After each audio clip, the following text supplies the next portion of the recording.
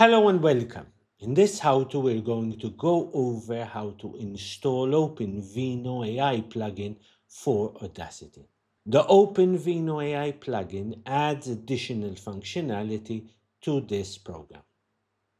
One function is music separation, allowing you to split a mono or stereo audio track into the individual stems, such as vocals, drums, and other instruments. This AI plugin adds noise suppression capabilities, allowing you to control remote background noise from audio. The third function is music generation and continuation, extending the music. It generates music based on a prompt and settings you can adjust. The final function available is the ability to transcribe audio. You highlight the text you want to transcribe, choose the OpenVino transcription option, after which Audacity adds a timestamped text track with the transcribed text. The OpenVino LLM is installed locally on your computer, meaning that no data leaves to third-party servers. Let's go over the installation process.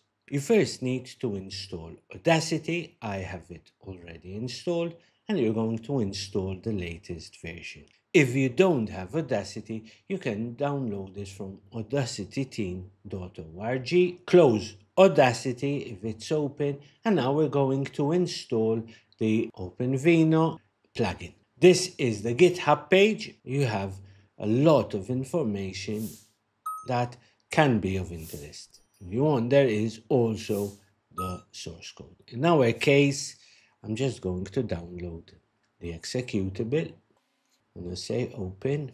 We are in the dialog box. We click next. We accept the end user license agreement. Here we come to choose what we want to install. For music separation models, music resolution and noise suppression, I'm not going to change those. For the transcription and the music generation, you have default models that are selected. In the transcription, you have base selected by default, although there are other models. You will notice that the models increase in size as you go down the list. In my case, I'm just going to leave base so that the process doesn't take long. For the generation, likewise, I'm going to leave the mono model. I click next. And here, as you can see, it is going to Hugging Face, where it is downloading according to the options we selected. Having downloaded the models, we're now going to install everything. This process can take some time because each model needs to be unzipped and then installed. With bigger models, this can take more time. Installation has completed and now the next step is to enable the plugins. To do that, I'm to press finish here, open Audacity, go into edit, preferences.